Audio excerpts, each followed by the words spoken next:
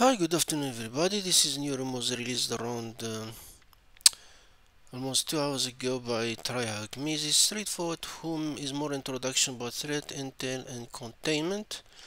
Is basically when you have an incident response, what exactly you do, and some strategy and uh, processes. Uh, if attack box I don't need it, I can shut down the attack box. Uh, this room is to containment involves uh, as well as some containment strategy. Additionally, this room is going to introduce you to threat intelligence. Uh, something wrong with my starting machine. I know what's going on. Let me just uh, refresh the page quickly.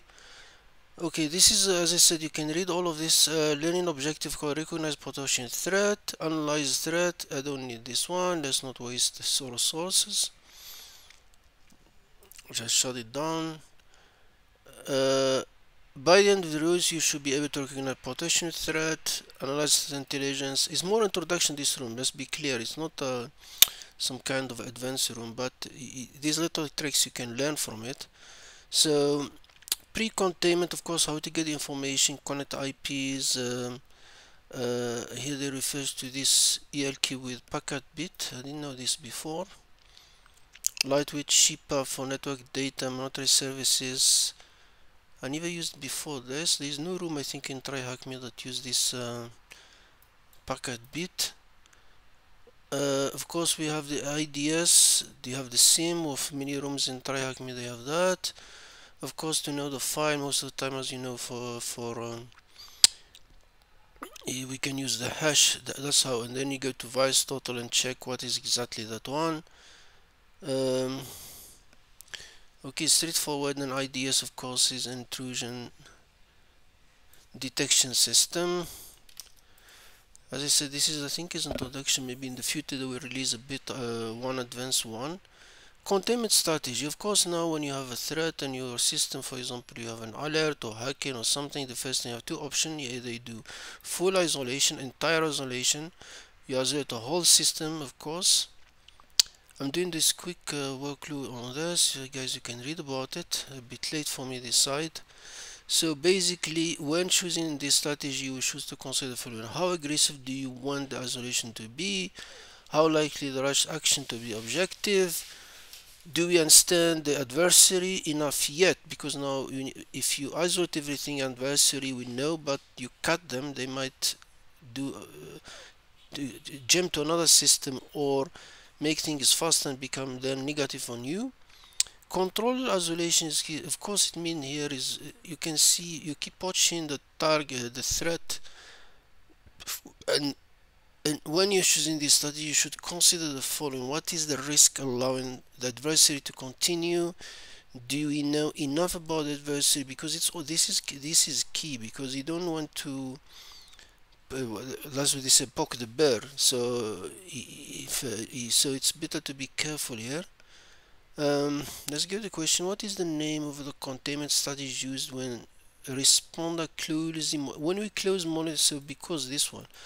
So it means we're not shutting down all the network and everything but we, we control the, the the, the system what containment strategy is considered to be most aggressive? Most aggressive mean cut everything, like in the movies. Switch the network, switch the um, the router, unplug the cables, all of that. So things like that.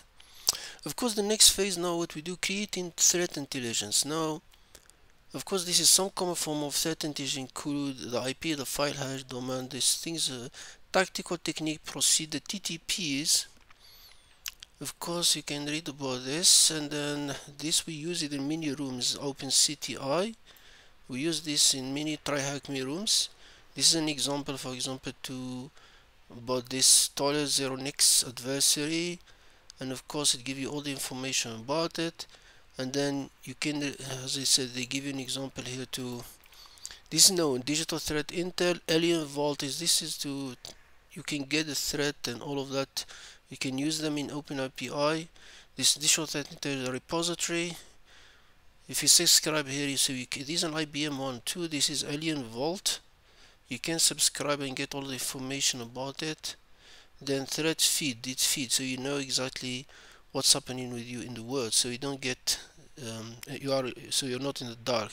Of course here it give you it's better to have a system in the company where user can report. For example this example is where this guy receives suspicious email with attached pdf and he just forwarded to the it admin basically sending the threat to the it admin. So you need to be a system in the companies that control and uh, make it easier for normal user to report threats.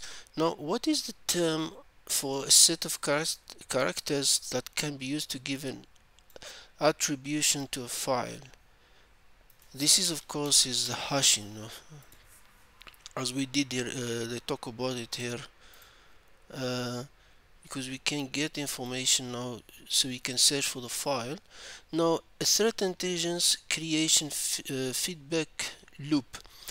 Now of course here you need to have some information and go feedback and all of that. Um, it is understandable why Nogas may want to redact the first immediately. That's when you talk about it isolation or controlled positive feedback loop, a pre-containment and threat integration stage of the IR process. Okay, I'm not like you guys, I'm just doing quick review of this uh, room. Everybody can read about it. What is the name of the classic arcade game that is being referred in this text? So I think this one uh, not I think I, I, did this one so you can see. Is that's the arcade whack-a-mole so that's the answer. Now the next question is the practice. Now I give a practice. Deploy the machine of course then they send a packet capture of the incident has been provided. So we have this. So we can start our friend Wireshark the question is, what is the IP address of adversary? Now they give us a hint and said an executable was downloaded from this address. Now there's two ways we can do this. Remember when someone downloads something with me, most of the time is a get request. So we can get http dot request uh, dot method uh, we can say it's a get because remember when you download when you, you, you click in PDF or something to download is a get request. We can see straightforward here. Is downloading this file get dropper.exe so we know the IP is this is one. We can confirm that by 3.250.38.141 or what we can do is we can always because he said to us is that executable file. So what I can do is just do search find packet an executable file is .exe and I say search for string. And I can say find. And it find it straight is this one. You can see it's find. Can even say follow now it's a HTTP stream. You can see now what happened is get dropper is downloaded. Get dropper.exe uh, that's it. That's the where it downloaded from. Mozilla uh, is using Firefox. Keep alive where he got it from? Yeah this is the IP address where he got it from you can see now the dropper the next question what is the name of the file that get downloaded? We can see uh, we already got it. Now you just follow http stream you can see the file is dropper.exe so we know the file is that. Next question is what is the SHA-56 of the value of the executable on the desktop? So if I go to desktop the file is dropper so be sha 256 and then I get dropper. So book so we have the SHA file. So this is I said is quick room. Maybe the next one be more advanced but it's cool so every recap you can framework guidance you can do what is this uh, this external links okay so often case cybersecurity framework. Okay guys you can this is free room you can read about it. I'm just quick solution about it.